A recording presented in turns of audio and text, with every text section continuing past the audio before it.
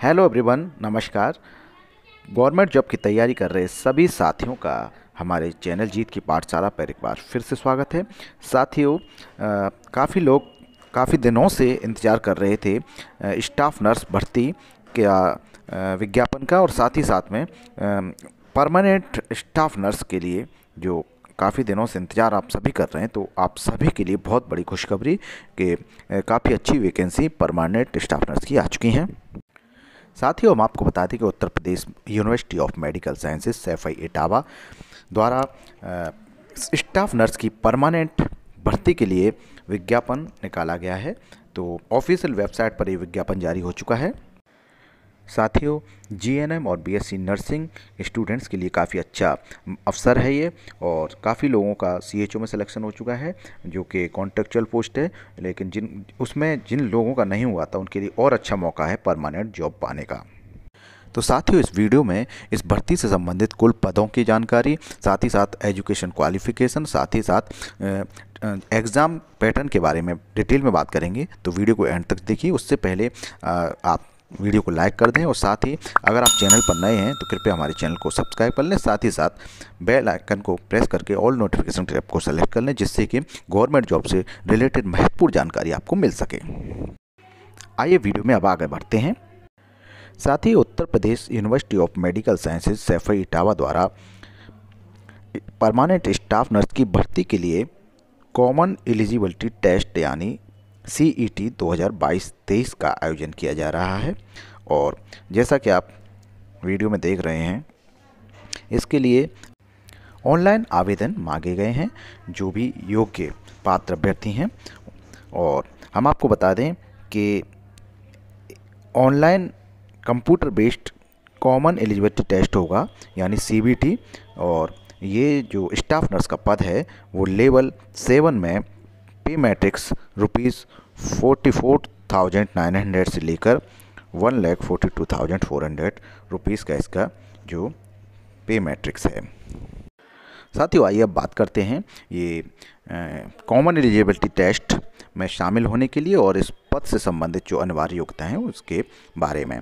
तो हम आपको बता दें कि इस भर्ती में शामिल होने के लिए आपके पास इंडियन नर्सिंग काउंसिल या स्टेट नर्सिंग काउंसिल से मान्यता प्राप्त यूनिवर्सिटी अथवा संस्थान से बीएससी ऑनर्स नर्सिंग या बीएससी नर्सिंग की डिग्री होनी चाहिए, अथवा आपके पास बीएससी पोस्ट सर्टिफिकेट या पोस्ट बेसिक बीएससी नर्सिंग की डिग्री होनी चाहिए।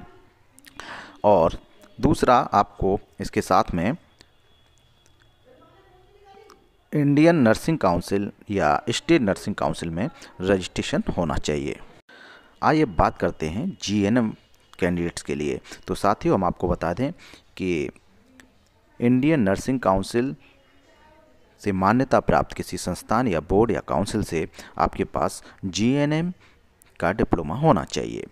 तो यानी कि जीएनएम वाले कैंडिडेट्स भी इसमें अप्लाई कर सकते हैं और साथ ही साथ उनको इंडियन नर्सिंग काउंसिल या स्टेट नर्सिंग काउंसिल में रजिस्ट्रेशन होना चाहिए और साथ ही साथ में इसमें एक एक्स्ट्रा जो एक्सपीरियंस मांगा गया है, जो जी जीएनएम कैंडिडेट्स हैं उनके लिए।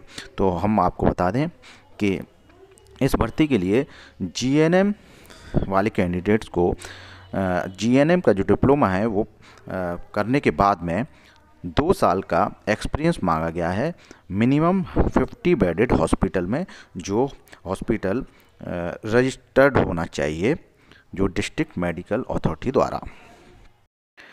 आइए बात करते हैं इस भर्ती के लिए एज लिमिट क्या मांगी गई है।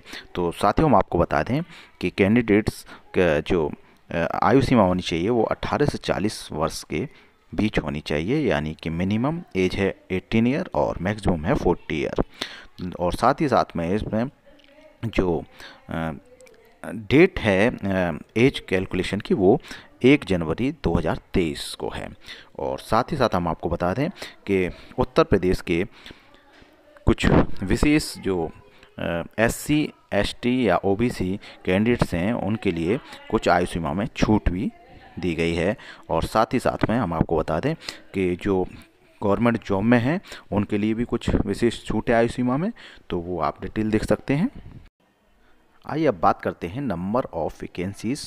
तो यानी कि कुल पदों के बारे में तो साथियों आपको बता दें कि ये परमानेंट जॉब हैं और बहुत अच्छे जो संस्थान हैं सैफई इटावा में, उसमें ये आपको सेवा करने का अवसर मिल रहा है और टोटल पोस्ट इसमें 220 यानी 220 इसमें से हम आपको बता दें कि एससी कैंडिडेट्स के लिए 46 हैं एसटी के लिए 4 हैं और ओबीसी के लिए 60 सीट हैं और ईडब्ल्यूएस के लिए 22 और अनरिजर्व्ड यानी जनरल के लिए 88 पद हैं इसमें। साथ ही साथ इसमें दिव्यांग एक्स सर्विसमैन और फ्रीडम फाइटर्स के डिपेंडेंट्स को छत्तीस आरक्षण भी दिया गया है।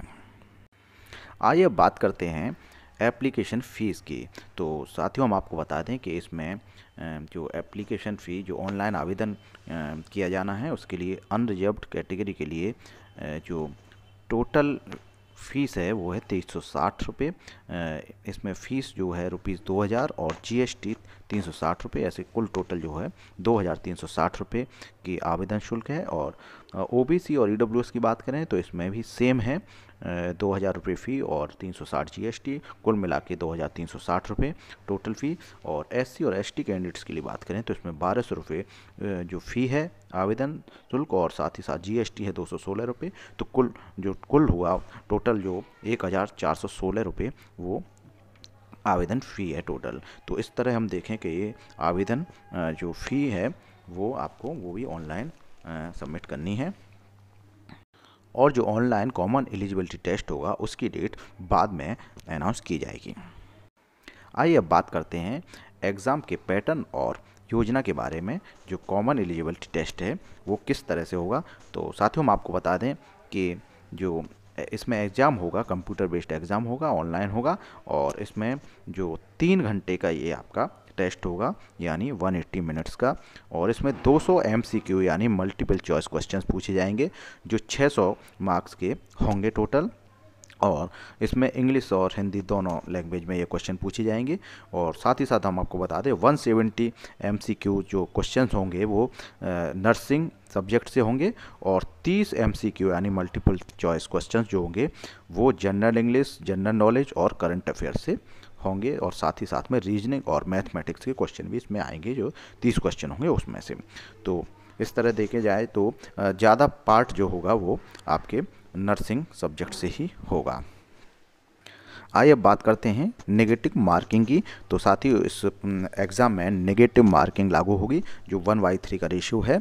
और साथ ही साथ में आपको बता दें minimum qualification marks of the common eligible test जो होगा, वो 50 percent for general E W S और ओ बी सी के लिए और 45 परसेंट एस सी और एस टी कैंडिडेट्स के लिए। आइए फ्रेंड्स अब बात करते हैं सिलेबस की। तो हम आपको बता दें कि इंडियन नर्सिंग काउंसिल द्वारा जो सिलेबस है, वही इसमें पूछा जाएगा।